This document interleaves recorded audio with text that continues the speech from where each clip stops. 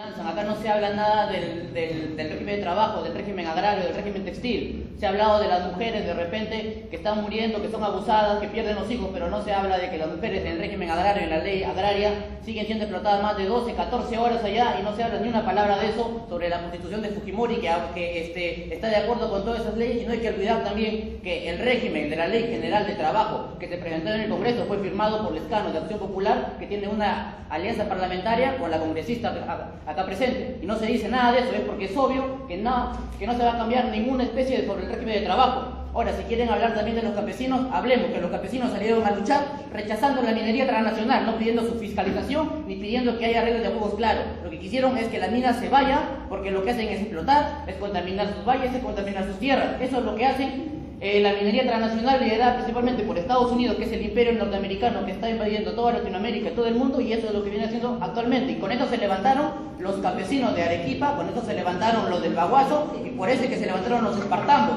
¿Acaso acá alguien está haciendo alguna campaña de liberación por los espartambos? No olvidemos que en Espinar, la, en Espinar los campesinos, sí, acá termino, en Espinar los campesinos solamente se levantaron porque estaban pidiendo también el rechazo a esa transnacional liderada por Estados Unidos y no olvidemos que la congresista aceptó y votó a favor en octubre de 2012 el ingreso de las tropas norteamericanas a este país.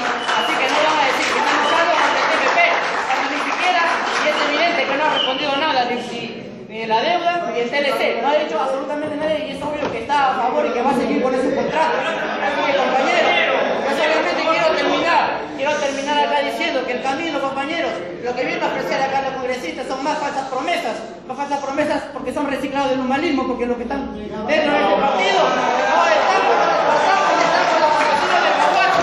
Hay que seguir el camino de la juventud en Palestina que está saliendo a luchar, de la juventud de luz que está sentando el Parlamento contra la política de austeridad. Esos son los jóvenes, esos son los jóvenes que han salido a las calles a protestar.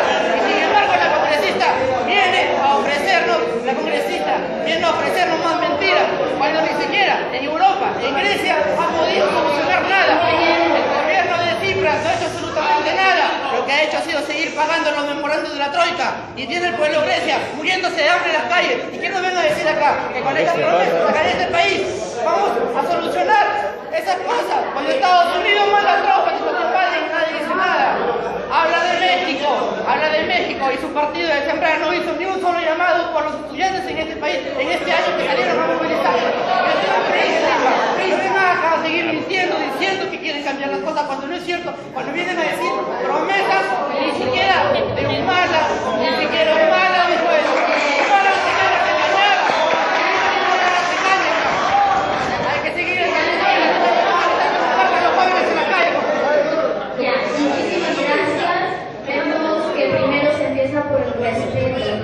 El respeto es lo primero para poder no imponer.